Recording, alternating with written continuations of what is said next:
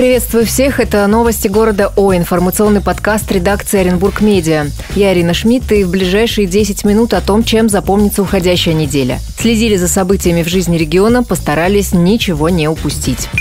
Начнем с политических, пожалуй. Два отчета в один день. Глава региона Денис Паслер и мэр Оренбурга Сергей Салмин выступили перед депутатами с итогами 2023 года. Но речь свою оба начали не с прошлогодних событий, а со свежих, апрельских, с паводка. Губернатор особый акцент сделал на детских лагерях, сказал, что построят новые, напомнил о мерах поддержки пострадавшим и о том, как ликвидируют последствия паводка. После перешел к экономике региона. По словам Паслера, заметно выросли налоговые поступления от предприятий и физлиц. Вырос и бюджет почти в два раза за четыре года. Еще одна важная тема – строительство. Особое внимание молодому Оренбургу – это один из самых масштабных проектов последних лет. Глава региона назвал его удачным решением. Жилой комплекс, напомню, появится в районе Качкарского Мара и ТРЦ «Кит». Этот участок не затапливается. Отчет губернатора поддержали не все депутаты. Партия КПРФ его раскритиковала, припомнив отсутствие ремонта дорог, проблемы с генпланом, агропромом и кадровой политикой в регионе.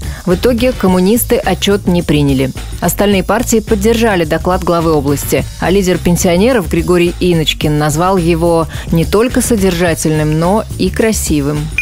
Без разногласий зато определились с днем голосования. Выборы губернатора пройдут 8 сентября. Выдвижение кандидатов начинается 7 июня и продлится до 26 июня. Кто вступит в борьбу за кресло главы региона, узнаем совсем скоро. Действующий глава, напомню, на прошлой неделе во время разговора с президентом заявил о своем желании баллотироваться на второй срок. Он будет выдвигаться от «Единой России». Известно, что партия КПРФ объявит своего кандидата 15 июня. ЛДПР «Справедливая Россия» и новые люди пока хранят молчание.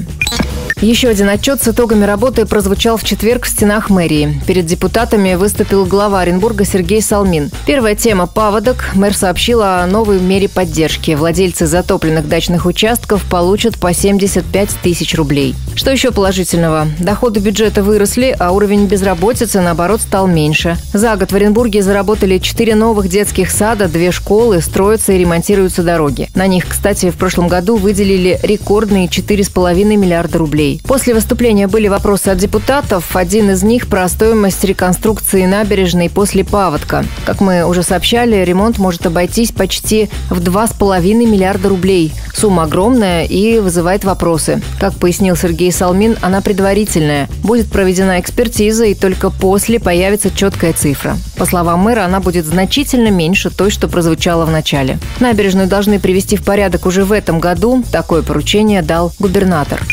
Еще на тему благоустройства мусорные баки возьмут под прицел. Мэрия Оренбурга потратит почти миллион рублей на камеры наблюдения на мусорных площадках. Их установят уже к 1 июля. Где именно, пока неизвестно. Примерно 30% устройств смогут распознавать автомобильные номера. Записи с камер будут храниться не меньше двух недель. С их помощью станет намного проще следить за несвоевременным вывозом, нехваткой баков, а также за теми, кто выбрасывает мусор с нарушением правил. Громкое дело архитекторов готовится рассмотреть в Ленинском районном суде. О том, что оно уже поступило, стало известно на этой неделе. В центре истории министр архитектуры Оренбургской области Наталья Ибрагимова. По версии следствия, она, а также директор компании «Атлас» и руководитель Центра развития архитектуры похитили более 90 миллионов рублей. Речь о заключении контрактов по завышенным ценам. Дату первого заседания определит судья. Как уже рассказывал Оренбург Медиа, после того, как министр стала фигурантом уголовного уголовного дела губернатор отправил ее в отпуск без содержания. Его продлевали несколько раз. В марте прошлого года Ибрагимова вышла на работу. Еще об одном уголовном деле, которое тоже обещает стать громким. В Оренбуржье задержаны сотрудники Госавтодорнадзора. Их подозревают в получении взяток. Вместе с ними задержали работников компании, которая контролирует грузовые перевозки. Оперативное видео есть на нашем сайте. Как полагает следствие, с сентября прошлого года по апрель нынешнего задержанные за определенную плату пропускали через пост грузовики с превышением массы. Фуры проезжали без взвешивания. Уже проведено больше 30 обысков, изъяты свыше свыше 10 миллионов рублей. Все восемь фигурантов дела находятся под стражей. Когда новоселье уже близко, в Оренбурге завершают работы в долгострое на улице Планерной. Речь о двух многоэтажках, которые оказались в списке проблемных из-за ситуации с обманутыми дольщиками. История тянется с 2020 года, мы подробно о ней рассказываем с самого начала. Сейчас подрядчик стройки Су-56 почти завершил все строительные и инженерные работы на одном объекте. Совсем скоро собственникам квартир там вручат ключи. Второй объект планируют сдать осенью. Все подробности рассказали в новом материале, он уже на сайте. То град, то буря, то гроза. Погода всю неделю испытывает оренбуржцев на прочность. В понедельник на областной центр обрушились шквалистый ветер и дождь. Стихия разгулялась не на шутку. Жители города поделились с Оренбург Медиа кадрами буйства. Видео есть у нас на сайте. В некоторых районах ураган повалил деревья. Одно из них, упав, повредило автомобиль. Во вторник непогода стала причиной трагедии. В Новоурском районе ветер сорвал крышу с надворной постройки и обрушил ее на женщину. Она погибла. В Шарлык Курганском районе молния попала в столб у дома. Произошло короткое замыкание. В результате загорелась кровля. Огонь полностью ее уничтожил, повредил потолок и веранду. По словам синоптиков, терпеть капризы погоды жителям области придется до конца недели. Чего точно терпеть не надо, это проблемы со здоровьем, например, со зрением. О нем всегда готовы позаботиться в МНТК «Микрохирургия глаза». Это центр, где можно обследоваться и исправить проблемы. Например, сделать лазерную коррекцию. Ее проводят высококлассные специалисты и, что важно, по доступным ценам. МНТК «Микрохирургия глаза» – партнер нашего выпуска. Они погибли, спасая других. На неделе в Оренбурге вручили госнаграды родным экипажа Ил-76, который разбился под Иваново. Авиакатастрофа, напомню, случилась в марте этого года. При взлете военно-транспортного самолета Ил-76 загорелся один из двигателей. Судно немного не дотянуло до аэродрома, всего около двух километров. Пилоты увели горящий самолет подальше от жилых домов. На борту находились 16 человек, никто не выжил. Среди погибших пять летчиков 117-го военно-транспортного авиационного полка, который базируется в Оренбурге. Их родные получили во вторник государственные награды из рук губернатора Дениса Паслера и командующего военно-транспортной авиации России Владимира Бенедиктова. Новая задумка мэрии. В Оренбурге появится умный светофор. Его установят на перекрестке проспекта Победы и улицы Степана Разина. Новое устройство сможет регулировать потоки транспорта, прогнозировать количество подъезжающих к перекрестку машин. Светофор дополнят контроллерами и датчиками потока. Если проект окажется удачным, такие умные регулировщики установят и на других улицах города.